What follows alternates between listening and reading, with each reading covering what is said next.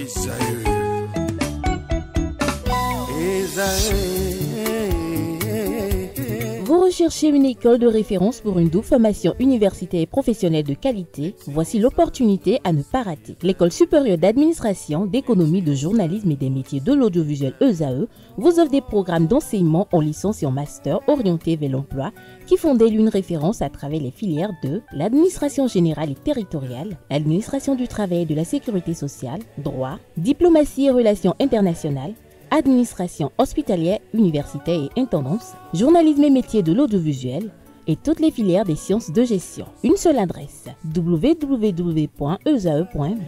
Rendez-vous dès maintenant sur nos campus ESAE Bedromende au numéro 90 93 65 21 ou au numéro 98 98 14 00. Paracou sur le numéro 52 46 12 12.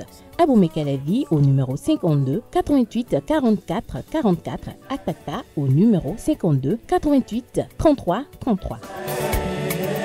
ESAE, l'excellence à un nom. Bonjour à nouveau chers internautes. Aujourd'hui dans Trucs et Astuces, on s'intéresse aux personnes qui font moins de mètres 60. Vous êtes un petit gabarit de moins de mètres 60, eh bien les pantalons larges sont également pour vous. Amis internautes, notez que même si vous êtes de taille courte, vous pouvez également envisager de porter des pantalons flats ou des maxi blazers, ces pièces ne sont pas uniquement destinées qu'aux filles élancées. Pour les personnes euh, mesurant moins de 1,60 m, il faut juste bien faire son choix et le tout est joué. Pour ce faire, la règle numéro 1, euh, miser sur la taille, sur une taille haute. Du flat au baggy en passant par le pantalon palazzo, le pantalon, le large flat, pardon, toutes les morphologies s'y démarrent bien sur la taille. Grâce à cette astuce, les jambes semblent immédiatement allongées et ça marche autant avec le pantalon qu'avec le jean. Et donc, pour donner encore plus de verticalité à la silhouette, on vous conseille de miser sur des pantalons qui s'évasent progressivement.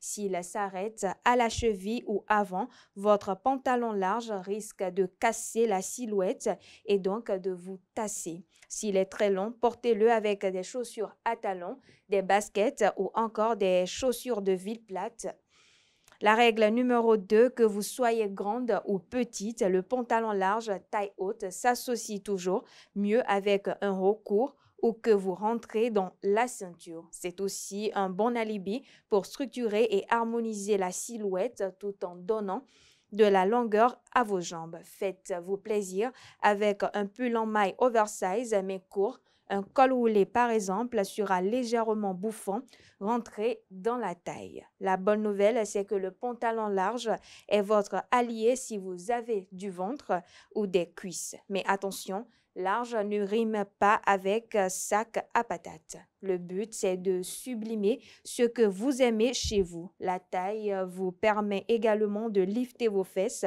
alors misez sur un modèle moulant au niveau du postérieur qui puis qui s'évase progressivement à partir du milieu des cuisses. Voilà, chers internautes, c'est l'essentiel à retenir de, de l'astuce du jour. Merci et à très bientôt.